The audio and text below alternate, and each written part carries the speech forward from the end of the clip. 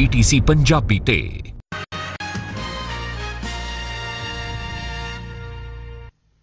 Break ਤੋਂ ਬਾਅਦ ਸਾਰੇ ਦਰਸ਼ਕਾਂ ਦਾ ਸਵਾਗਤ ਖਬਰਾਂ ਦੇ ਸਿਲਸਿਲੇ ਨੂੰ ਤੋਰਦੇ ਹਾਂ ਮੱਤੇਵਾੜਾ ਜੰਗਲ ਬਚਾਉਣ ਨੂੰ ਲੈ ਕੇ ਲੋਕਾਂ ਵੱਲੋਂ ਧਰਨਾ ਲਗਾਇਆ ਗਿਆ ਸੀ, ਉਹ ਹੁਣ ਖਤਮ ਕਰ ਦਿੱਤਾ ਗਿਆ। ਜੀ ਹਾਂ ਪਬਲਿਕ ਐਕਸ਼ਨ ਕਮੇਟੀ ਕੱਲ ਸੀਐਮ ਭਗਵੰਤ ਮਾਨ ਦੇ ਨਾਲ ਮੁਲਾਕਾਤ ਕਰੇਗੀ। ਇਸ ਦੇ ਨਾਲ ਹੀ ਚੇਤਾਵਨੀ ਵੀ ਦਿੱਤੀ ਗਿਆ ਹੈ ਕਿ ਜੇਕਰ ਕੋਈ ਇਹ ਮਸਲੇ ਦਾ ਹੱਲ ਨਾ ਨਿਕਲਿਆ ਤਾਂ ਪੱਕਾ ਧਰਨਾ ਵੀ ਲਗਾਇਆ ਜਾਵੇਗਾ। ਜੀ ਹਾਂ, ਤੁਹਾਨੂੰ ਦੱਸ ਦਈਏ, ਫੈਸਲਾ ਕੱਲ ਹੀ ਹੋ ਗਿਆ ਸੀ ਕਿ ਮੁੱਖ ਮੰਤਰੀ ਭਗਵੰਤ ਮਾਨ ਦੇ ਨਾਲ ਪਬਲਿਕ ਐਕਸ਼ਨ ਕਮੇਟੀ ਮੁਲਾਕਾਤ ਕਰੇਗੀ, ਪਰ ਨਾਲ ਹੀ ਨਾਲ ਚੇਤਾਵਨੀ ਇਹ ਵੀ ਦੇ ਦਿੱਤੀ ਗਈ ਹੈ ਕਿ ਜੇਕਰ ਲਿਖਤੀ ਭਰੋਸਾ ਨਾ ਮਿਲਿਆ ਤਾਂ ਪੱਕਾ ਧਰਨਾ ਲਾਇਆ ਜਾਵੇਗਾ। ਵੱਖ-ਵੱਖ ਜਥੇਬੰਦੀਆਂ ਨੇ ਸਤਲੁਜ ਦਰਿਆ ਦੇ ਬੰਨ ਤੇ ਇਹ ਧਰਨਾ ਲਾਇਆ ਸੀ। ਅਕਾਲੀ ਸ਼੍ਰੋ- ਸ਼੍ਰੋਮਣੀ ਅਕਾਲੀ ਦਲ ਨੇ ਵੀ ਇਸ ਮੁਹਿੰਮ ਨੂੰ ਆਪਣਾ ਸਮਰਥਨ ਦਿੱਤਾ ਹੋਇਆ ਅਕਾਲੀ ਦਲ ਦੇ ਆਗੂ ਵੀ ਮੁਜਾਰਦ ਵਿੱਚ ਸ਼ਾਮਲ ਹੋਏ। ਮੱਤੇਵਾੜਾ ਦੇ ਵਿੱਚ ਇੰਡਸਟਰੀਅਲ ਪਾਰਕ ਬਣਾਉਣ ਦਾ ਸਰਕਾਰ ਨੇ ਜਿਹੜਾ ਟੀਚਾ ਮਿੱਥਿਆ ਹੈ, ਉਸੇ ਦਾ ਵਿਰੋਧ ਹੋ ਰਿਹਾ ਹੈ। ਤੇ ਇਸ ਨੂੰ ਲੈ ਕੇ ਜਿਹੜੀ ਪਬਲਿਕ ਐਕਸ਼ਨ ਕਮੇਟੀ ਬਣਾਈ ਗਈ ਹੈ ਉਹ ਹੁਣ ਭਗਵੰਤ ਮਾਨ ਦੇ ਨਾਲ ਜਦ ਮੁਲਾਕਾਤ ਕਰੇਗੀ ਤਾਂ ਵੇਖਣਾ ਹੋਵੇਗਾ ਕਿ ਕੀ ਇਹ ਮਸਲੇ ਦਾ ਨਿਕਲਦਾ ਕੋਈ ਹੱਲ ਜਾਂ ਫਿਰ ਲੱਗੇਗਾ ਪੱਕਾ ਧਰਨਾ। ਕਿਵੇਂ ਦੇਖਦੇ ਹੋ ਇਸ ਤਸਵੀਰ ਨੂੰ? ਇੱਕ ਵੱਡਾ ਮੋਰਚਾ ਲੱਗਿਆ ਆਮ ਆਦਮੀ ਪਾਰਟੀ ਸਰਕਾਰ ਦੇ ਖਿਲਾਫ ਔਰ ਲਗਾਤਾਰ ਲੋਕ ਗੁਹਾਰ ਲਾ ਰਹੇ ਨੇ ਕਿਸਾਨ ਜਥੇਬੰਦੀਆਂ ਵੀ ਜੁਟ ਰਹੀਆਂ ਨੇ। ਇਹੀ ਆਖਰੀਆਂ ਨੇ ਕਿ ਇੱਥੇ ਇੰਡਸਟਰੀ ਨਹੀਂ ਲੱਗਣੀ ਚਾਹੀਦੀ। ਦੇਖੋ ਮੈਂ ਤਾਂ ਇੱਥੇ ਬੇਨਤੀ ਕਰੂੰਗਾ ਕਿ ਆਮ ਆਦਮੀ ਪਾਰਟੀ ਨੂੰ ਵੀ ਇਸ ਜੰਗ ਸ਼ਾਮਲ ਹੋਣਾ ਚਾਹੀਦਾ ਹੈ, ਕਿਉਂਕਿ ਲੋਕਾਂ ਨੇ ਉਹਨਾਂ ਨੂੰ ਬਹੁਤ ਵੱਡਾ ਫਤਵਾ ਦਿੱਤਾ ਤੇ ਪੰਜਾਬ ਦੇ ਹਿੱਤ ਲਈ ਦਿੱਤਾ। ਪਰ ਜੋ ਫਤਵੇ ਦੀ ਉਲੰਘਣਾ ਕਰਕੇ ਪ- ਪੰਜਾਬ ਨੂੰ ਵਸਾਉਣ ਦੀ ਥਾਂ, ਪੰਜਾਬ ਨੂੰ ਸਾਫ਼ ਸੁਥਰਾ ਰੱਖਣ ਦੀ ਥਾਂ, ਪੰਜਾਬ ਨੂੰ ਸਵੱਛ ਰੱਖਣ ਦੀ ਥਾਂ, ਪੰਜਾਬ ਨੂੰ ਪੋਲਿਊਸ਼ਨ 'ਚ ਲਿਜਾਣਗੇ, ਸਰਕਾਰ ਕਿਸੇ ਦਾ ਵਿਰੋਧ ਨਹੀਂ, ਉਹਨਾਂ ਦੇ ਫੈਸਲੇ ਦਾ ਵਿਰੋਧ ਹੈ ਸਰਕਾਰ ਦੇ ਹਿੱਤ 'ਚ ਲੋਕਾਂ ਦਾ ਫੈਸਲਾ, ਅਸੀਂ ਸਰਕਾਰ ਦਾ ਵਿਰੋਧ ਨਹੀਂ ਕਰ ਰਹੇ, ਅਸੀਂ ਉਹਨਾਂ ਦੇ ਫੈਸਲੇ ਦਾ ਵਿਰੋਧ ਕਰ ਰਹੇ, ਜਿਹਦੇ ਨਾਲ ਉਹ ਇੱਥੇ ਇੰਡਸਟਰੀ ਲਾਉਣਾ ਚਾਹੁੰਦੇ ਆ। ਅਸੀਂ ਉਮੀਦ ਰੱਖਦੇ ਹਾਂ ਕਿ ਪਰਮਾਤਮਾ ਉਹਨਾਂ ਨੂੰ ਸਮੱਤ ਦੇਊਗਾ। ਕਿਉਂਕਿ ਮੈਂ 1997 ਵਿੱਚ ਵਾਤਾਵਰਣ ਦਾ ਮੰਤਰੀ ਸੀ।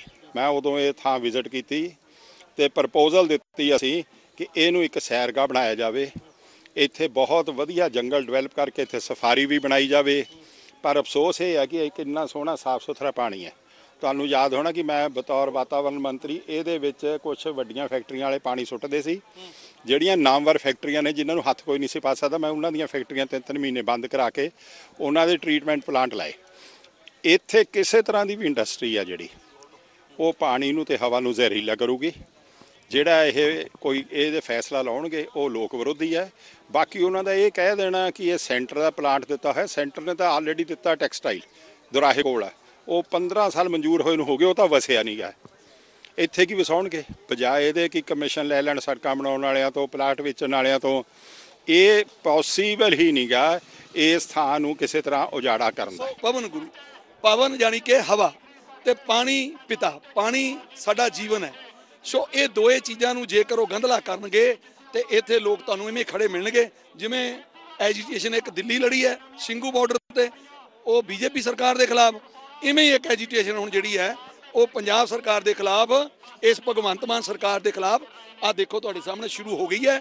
ਜੇ ਅੱਜ ਵੀ ਅਕਲਮੰਦ ਹੋਵੇ, ਸਿਆਣਾ ਹੋਵੇ, ਤੇ ਅੱਜ ਵੀ ਆਪਣਾ ਇਹ ਜਿਹੜਾ ਇੰਡਸਟਰੀਅਲ ਪਾਰਕ ਦਾ ਇਸ਼ੂ ਆ, ਇਹਨੂੰ ਹੁਣੇ ਹੀ ਰੱਦ ਕਰਕੇ ਤੇ ਇਹ ਲੋਕਾਂ ਨੂੰ ਕਵੇ ਵੀ ਤੁਹਾਡਾ ਜੰਗਲ ਅਸੀਂ ਨਹੀਂ ਜਾਣ ਦਿਆਂਗੇ ਕਿਉਂਕਿ ਖੁਦ ਪਿਛਲੀ ਸਰਕਾਰ 'ਚ ਭਗਵੰਤ ਮਾਨ ਖੁਦ ਪ੍ਰੋਟੈਸਟ ਕਰਦਾ ਰਿਹਾ ਹੈ। ਔਰ ਉਹਨਾਂ ਦਾ ਜਿਹੜਾ ਸਪੀਕਰ ਹੈ ਸੰਧਮਾ ਉਹ ਖੁਦ ਪ੍ਰੋਟੈਸਟ ਕਰਦਾ ਰਿਹਾ ਅੱਜ ਸੱਤਾ ਆਉਣ ਤੇ ਕਿਹੜੇ ਗੱਫੇ ਮਿਲ ਗਏ? ਅੱਜ ਕਿਹੜੀ ਕੇਂਦਰ ਨੇ ਥਾਪੜਾ ਦੇ ਦਿੱਤਾ ਹੈ ਪੰਜਾਬ ਦਾ ਨੁਕਸਾਨ ਕਰਨੇ ਨੂੰ? ਸੋ ਇਸ ਭਗਵੰਤ ਮਾਨ ਸਰਕਾਰ ਨੂੰ ਦੱਸਣਾ ਚਾਹੁੰਦੇ ਆ ਕਿ ਬਾਜ ਆ ਜਾਓ, ਨਹੀਂ ਤਾਂ ਫਿਰ ਦਿੱਲੀ ਘੇਰਾਂਗੇ, ਤੇਰੀ ਕੋਠੀ ਵੀ ਘੇਰਾਂਗੇ, ਤੇਰੀ ਸਰਕਾਰ ਵੀ ਘੇਰਾਂਗੇ। ਅਗਰ ਇੰਡਸਟਰੀ ਲੱਗਦੀ ਹੈ, ਤਾਂ ਕਾਫੀ ਵੱਡਾ ਨੁਕਸਾਨ ਹੋਵੇਗਾ ਪੰਜਾਬ ਦਾ, ਲੁਧਿਆਣੇ ਦਾ। ਕੈਮਰਾਮੈਨ ਗੁਰਦੇਵ ਦੇ ਨਾਲ ਨਵੀਨ ਸ਼ਰਮਾ, ਪੀਟੀਸੀ ਨਿਊਜ਼, ਲੁਧਿਆਣਾ। ਉਧਰ ਰਾਜ ਸਭਾ ਸਾਂਸਦ ਸੰਤ ਬਲਬੀਰ ਸਿੰਘ ਸੀਚੇਵਾਲ ਨੇ ਵੀ ਮੱਤੇਵਾੜਾ ਦੇ ਜੰਗਲ ਨੂੰ ਬਚਾਉਣ ਦੀ ਗੱਲ ਆਖੀ ਹੈ। ਉਹਨਾਂ ਦਾ ਕਹਿਣਾ ਹੈ ਕਿ ਸਾਨੂੰ ਮੱਤੇਵਾੜਾ ਦੇ ਦਰਖਤਾਂ ਦੀ ਪੁਕਾਰ ਸੁਣਨ ਦੀ ਲੋੜ ਹੈ। ਆਕਸੀਜਨ ਰੁੱਖਾਂ ਦੀ ਦੇਣ ਹੈ। ਦਰਖਤ ਆਕਸੀਜਨ ਦੇ ਕਾਰਖਾਨੇ ਨੇ ਇਹਨਾਂ ਨੂੰ ਬਚਾਵਾਂਗੇ, ਤਾਂ ਹੀ ਸਾਡਾ ਭਵਿੱਖ ਬਚੇਗਾ। ਪਾਣੀ ਪਿਤਾ ਮਾਤਾ ਧਰਤ ਮਹਤ, ਆਕਸੀਜਨ ਦਰਖਤਾਂ ਨੇ ਦੇਣੀ ਹੈ। ਦਰਖਤ ਆਕਸੀਜਨ ਦੇ ਕਾਰਖਾਨੇ ਹੈ। ਸੋ ਇਹ ਬਚਾਵਾਂਗੇ ਤਾਂ ਭਵਿੱਖ ਬਚੂਗਾ। ਅੱਜ ਬਹੁਤ ਵੱਡੀ ਆਵਾਜ਼ ਮੱਤੇ ਵਾਲੇ ਜੰਗਲ ਦੀ ਉੱਠ ਰਹੀ ਹੈ।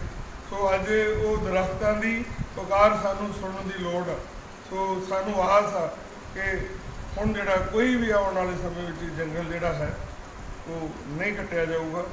ਸੋ ਜਿਹੜੇ ਉਹ ਪੁਰਾਣੇ ਦਰਖਤ ਆ, ਗੁਰੂ ਮਹਾਰਾਜ ਕਿਰਪਾ ਕਰੇ ਉਹਨਾਂ ਨੂੰ ਵੀ ਜਿਹੜੇ ਵੱਡੇ ਆ, ਜਿਨ੍ਹਾਂ ਦੀ ਹੈ, ਇਹਨਾਂ ਦਾ ਵੀ ਇਹਨਾਂ ਨੂੰ ਲਿਖਤੀ ਰਿਕਾਰਡ ਇਹਨਾਂ ਦਾ ਬਣਾਇਆ ਜਾਵੇ ਕਿ ਜਿਹੜੇ ਸਾਡੇ ਬਜ਼ੁਰਗਾਂ ਤੋਂ ਵੱਡੇ ਦਰਖਤ ਆ ਬਿਲਕੁਲ ਬੋਰਡ, ਨਿੰਮ ਜਾਂ ਕੁਝ ਇਹੋ ਜਿਹੇ ਦਰਖਤ ਆ ਜਿਹੜੇ ਬਹੁਤ ਘਾਟੇ ਇਸ ਇਲਾਕੇ ਦੇ ਰਹਿ ਰਹੇ ਉਹਨਾਂ ਨੂੰ ਸਾਰਿਆਂ ਨੂੰ ਪ੍ਰਜਰਵ ਕੀਤਾ ਜਾਵੇ।